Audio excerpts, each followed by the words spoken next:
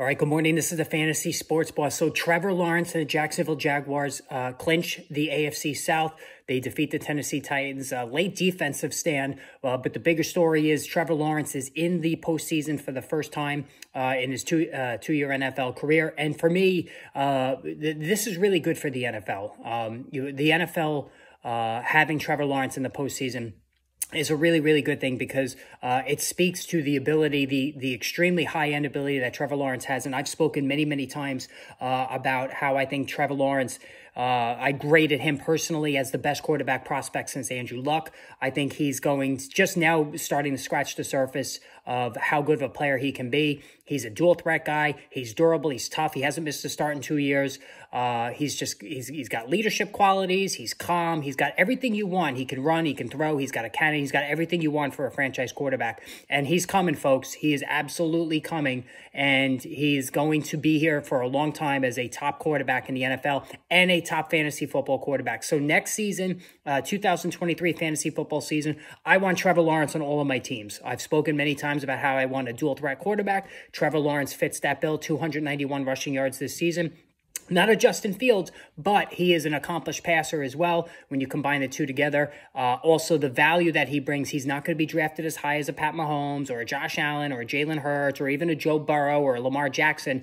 Uh, but you can make the case that Trevor Lawrence has quite possibly the best uh, or, or top five best uh, offensive supporting cast uh, for next season. He's going to get Calvin Ridley off of suspension, and we all know Calvin, Calvin Ridley is a wide receiver one.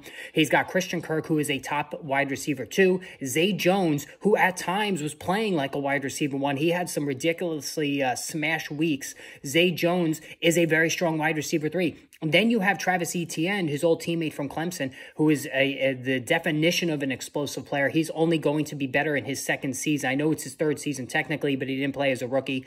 Um, I, I, think I think Etienne is going to be fantastic next season. Uh, explosive runner, underutilized as a receiver. If they use him more as a receiver next season, look out. And then Evan Engram, who had a monstrous season at tight end, is a free agent. He could cash in, but I think you know for him, knowing coming from a Giants team that was horrible when he was there now he's on an ascending Jacksonville team. It would be foolish for Engram not to uh, re-sign with the Jaguars. I think he will re-sign. This team is stacked offensively. Trevor Lawrence is going to go nuts. Looking at his numbers now from this season, so he completed 66.3% of his passes.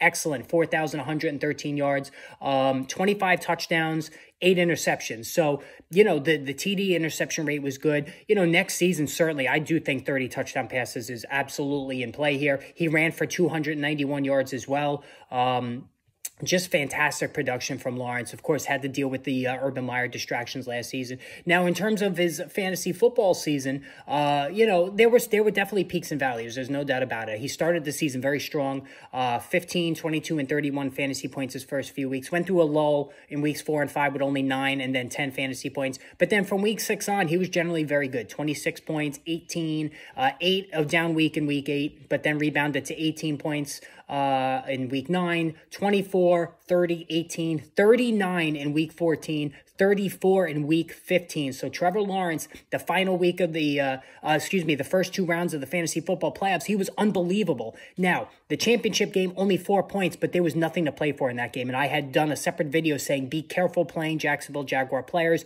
in week uh, 17 because against Houston, they had nothing to play for, and uh, they wound up taking a seat in the second half after blowing them out. But that that all said, Trevor Lawrence who I think is just an unbelievable talent, is going to be a major, major, major player in fantasy football next season. So, you know, we we I already did the uh, the quarterback, the, the early quarterback look for next season in terms of rankings.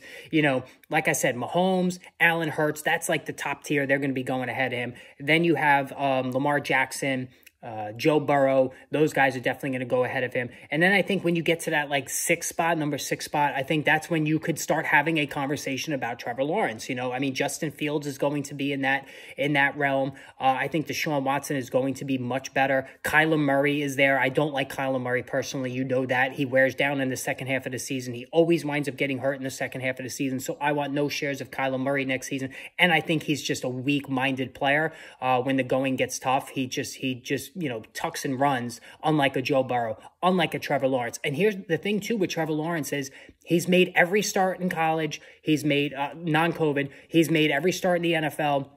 Uh, he's just been unbelievable uh, in terms of durability you know, he's been nicked up this season, but he's out there every week. He's playing. Uh, I think Trevor Lawrence. If you if you wait just a little bit to draft that uh, dual threat quarterback, I think Trevor Lawrence is your guy. All right, hit that subscribe, hit that notification button. More videos on the way. Live stream today at eleven thirty. Make sure you tune in because I'm going to reveal my uh, All Pro fantasy team.